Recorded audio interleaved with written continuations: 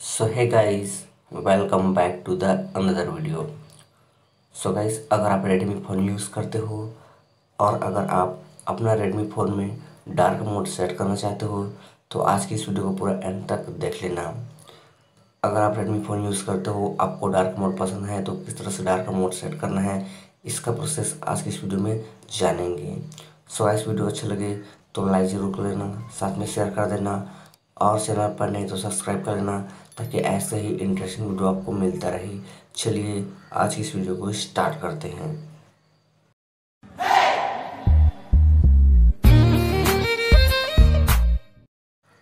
So guys यहाँ पर मैंने ऑलरेडी डार्क मोड इनेबल करके रखा हुआ है।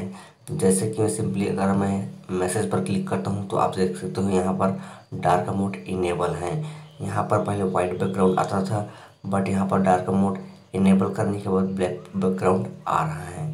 सिंपली अगर हम बैक कर दें और किसी दूसरा ऐप्स पर या किसी भी तरह के एप्लीकेशन जो आप यूज़ करते हो, उस पर आप क्लिक करोगे तो यहाँ पर पूरी तरीके से आप डार्क मोड देख सकते हो।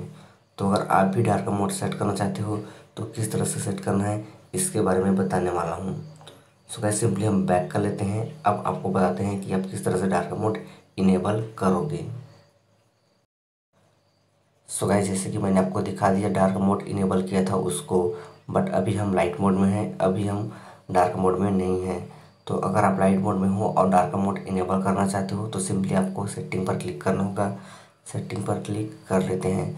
जैसे कि हम सेटिंग पर क्लिक करेंगे तो देखिए अभी हमारा बैकग्राउंड जो है वाइट है लाइट मोड में होने पर। उसके बाद सिंपली आपको नीचे आना है और यहाँ पर एक ऑप्शन है डिस्प्ले का। सिंपली आपको यहाँ पर क्लिक करना होगा। तो यहाँ पर क्लिक कर लेते हैं।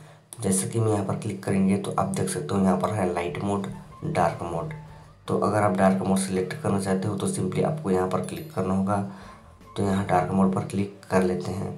जैसे कि हम डार्क मोड पर क्लिक करेंगे तो आप देख सकते हो यहाँ पर हमारा लाइट मोड हट चुका है।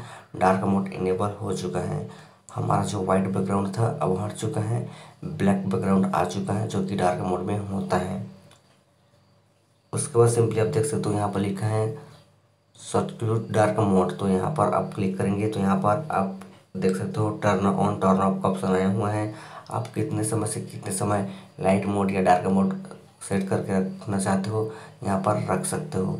अगर आपको टाइमर लगाना है तो टाइमर आप लगा सकते हो बट अगर आप हमेशा के लिए डार्क मोड लगाना चाहते हो तो सिंपली इससे आपको ऑफ़ कर देना है, उसके बाद आप देख सकते हो डार्क मोड इनेबल हो चुका है। अगर हम बैक करें तो देखिए, हमारा पूरा सेटिंग जो है डार्क मोड में सेट हो चुका है।